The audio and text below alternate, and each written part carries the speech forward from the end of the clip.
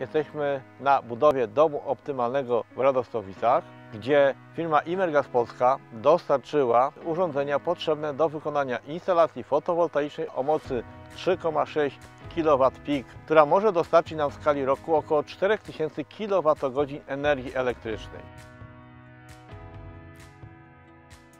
Żeby instalacja fotowoltaiczna działała prawidłowo, płaszczyzna paneli fotowoltaicznych musi być ukierunkowana na południe. Oraz musimy sprawdzić, czy to miejsce nie podlega zacienieniu. Jeżeli chcemy zamontować panele fotowoltaiczne o mocy 1 kW, to powierzchnia, jaką potrzebujemy na dachu, to jest około 7 m2.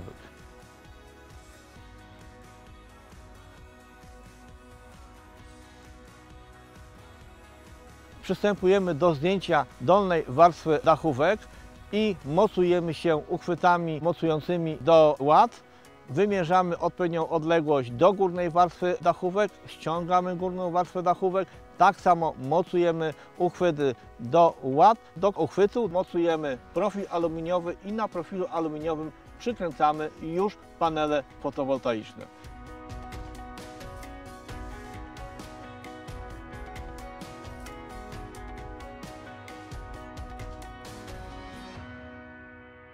W zestawie otrzymujemy uchwyty mocujące panele do profilu aluminiowego. Uchwyty między panelami odseparowują nam panel jeden od drugiego na odległość około 2 cm.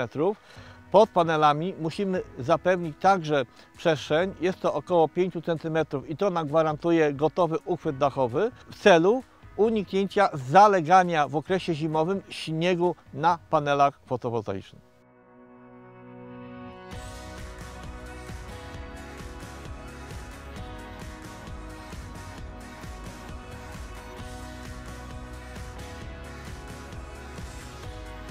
Domu optymalnym y, zaproponowaliśmy instalację składającą się z 13 paneli fotowoltaicznych polikrystalicznych o mocy jednostkowej 300 W które mogą maksymalnie dać 3600 W mocy elektrycznej. Taka ilość paneli pozwoli nam na pokrycie energii na potrzeby ogrzewania e, tego budynku.